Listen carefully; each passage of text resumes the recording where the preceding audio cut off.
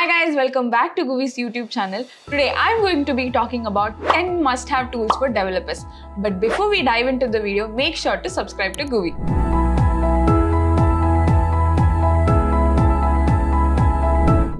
Number are the IDEs, which is nothing but the integrated development environment in which Visual Studio Code is a very highly customizable and super supportive platform that supports various languages. Also Eclipse, which is an open source IDE also used for Java development. Next is PyCharm, which is mainly developed for Python developers and it is used for intelligence code assistance and web development. Next is version control system, Git, the most popularly distributed version control system.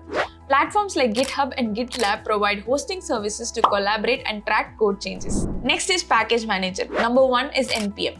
NPM is nothing but Node Package Manager, which is very essential for JavaScript and Node.js developers. It manages packages and dependencies. Number two is pip, which is a package manager for Python, and it simplifies the installation of libraries and management. Next is text editors. Number one, Sublime Text which is a very lightweight, highly customizable text editor which is well known for its speed and extensibility. Number two is Notepad++, which is a very simple open source text editor for Windows which is used for quick and easy code editing. Next is testing and debugging tools. Number one is Selenium, which is an automated testing tool used to test web applications. Number two is Postman, which is used to test APIs. Number three is Visual Studio Debugger, which is an integrated debugger used for various programming languages. Next is containerization and virtualization. Number one is Docker, which enables development and deployment of an application into a very lightweight and portable container.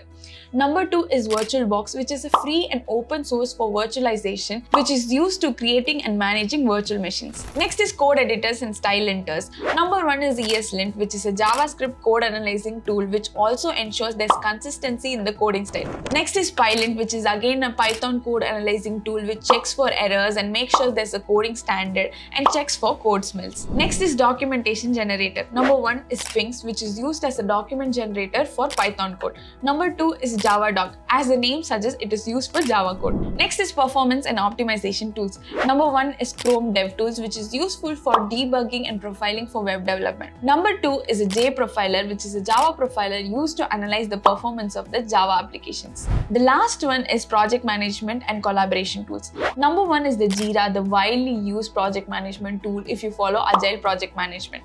Number two is Trello, which is the visual project management tool with boards, cards, and titles. If you found this video informative, don't forget to like, share, and comment, and subscribe to GUVI.